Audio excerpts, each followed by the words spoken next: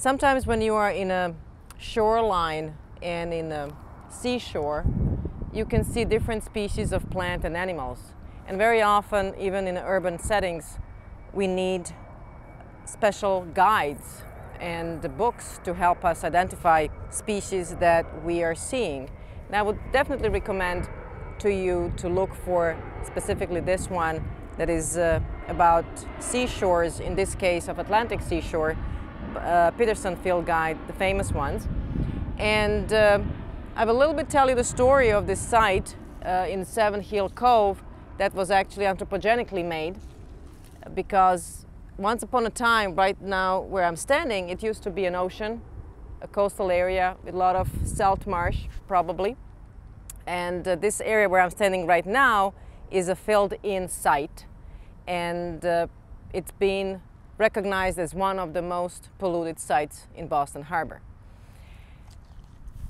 Left of me is a little bit of a reminiscence of uh, trying to survive fringing salt marsh.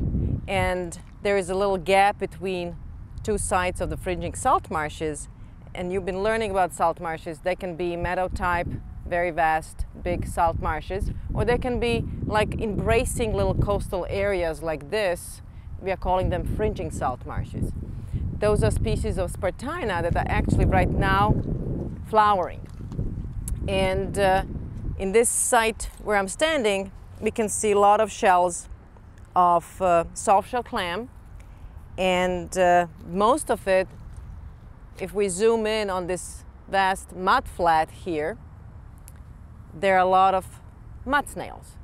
So this area, although still uh, polluted um, and contaminated with a lot of uh, sediment that came from different sites of Boston Harbor, it actually still has life, a lot of life. And uh, summertime, like now, we will have a lot of algae starting to grow because this area has a lot of nutrients and organic matter.